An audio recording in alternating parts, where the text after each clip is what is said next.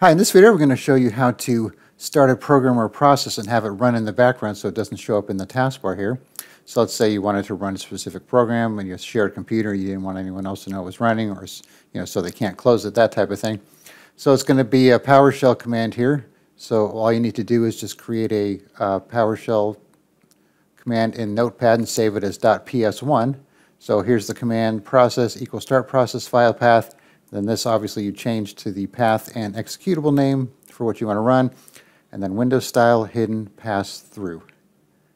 And once you do that, like I said, just save it as .ps1 instead of .txt, and then you'll have it. So then from there, all you need to do is right-click it and run with PowerShell. But if it doesn't run, uh, then you could try running it, you know, in a PowerShell window, and then you'll you'll probably see an error message about uh, not having the right execution policy.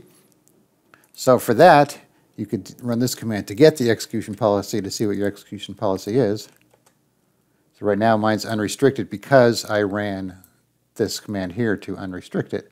So if you want to just, you know, just remove all restrictions, uh, you could just run this and then everything will be unrestricted.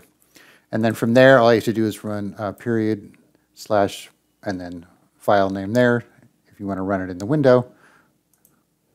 And then also, like I said, once you run this execution policy to unrestrict it here, then all you need to do is right-click on it, run with PowerShell. So right now I have Task Manager open here. So let's uh, get this out of the way here. It's nothing about WordPad. That's what that write.exe is, by the way. So we're going to run with PowerShell. And now you can see that WordPad is running in the background there, and it's not down here in the taskbar. So like I said, you know, it's hard to say when this will come in handy, but if, if you do have a need for it, that's one way to do it. So I will put this in the description here. I'll put this in here as well. And then you could just change it to match what you need and then see how it works for you. All right, thanks for watching and be sure to subscribe.